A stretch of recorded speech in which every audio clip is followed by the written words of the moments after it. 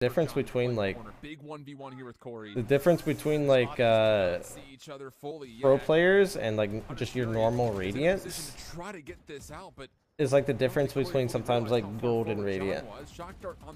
Like, it's a big difference.